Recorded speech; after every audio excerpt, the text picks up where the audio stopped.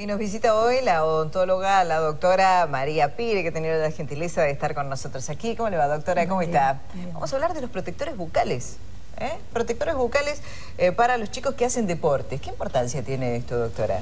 Bueno, esto es una campaña que organiza el Colegio Odontológico de la provincia eh, destinado a, educar y a fomentar en la población el uso del protector bucal en las prácticas deportivas habituales, no solamente eh, los chicos que estén federados o que estén a nivel profesional. Eh, hay una edad de los 6 a los 12 años en donde se produce el recambio de dientes, generalmente. Eh, los chicos ya empiezan a tener sus dientes definitivos y es la edad en donde más deporte hacen, se le da mucha, en este momento mucho impulso a la práctica del deporte y consideramos que a veces hay traumatismos que se pueden prevenir. ¿Esto tiene que ver con el tipo de deporte que se practica? Porque, digamos, es más común ver que usan los chicos que hacen rugby, por ejemplo, protectores bucales, que chicos que practican otro deporte.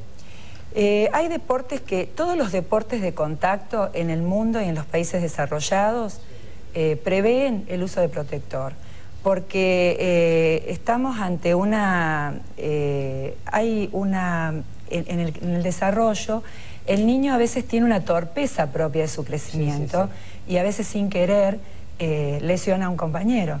Obviamente, eh, cuando tenemos un deporte con objetos como un, básquet, o con un béisbol, eh, un handball, hockey, nosotros sugerimos, obviamente, que tienen que tener el protector.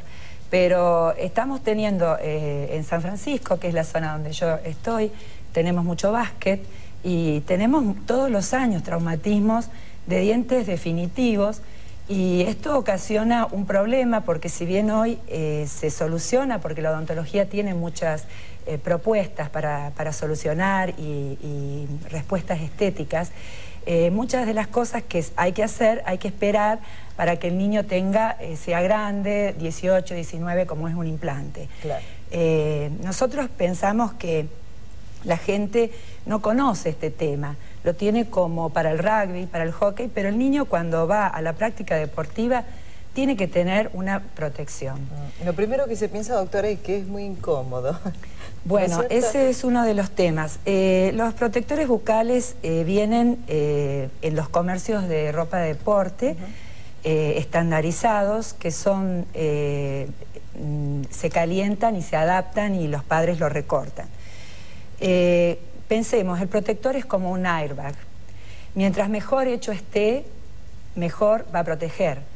Eh, el niño, eh, concurriendo al odontólogo, tiene la posibilidad de que el profesional le tome un molde exacto y va a ser mucho mejor adaptado, le va a permitir respirar, que es el problema que tienen normalmente, que no los usan porque no les permiten respirar le permite tragar, le permite salivar, porque esa es una de las preguntas que hacen los papás. Y fundamentalmente estamos quitándole un problema de encima eh, a los chicos a futuro, ¿no? Sí, sí, sí, el cuidado de los dientes, ¿no? Lo, valioso que son los dientes. Sí, eh, cuando falta un diente, la gente eh, normalmente, imagínese si a usted le falta un diente, ya la sonrisa la hace distinta.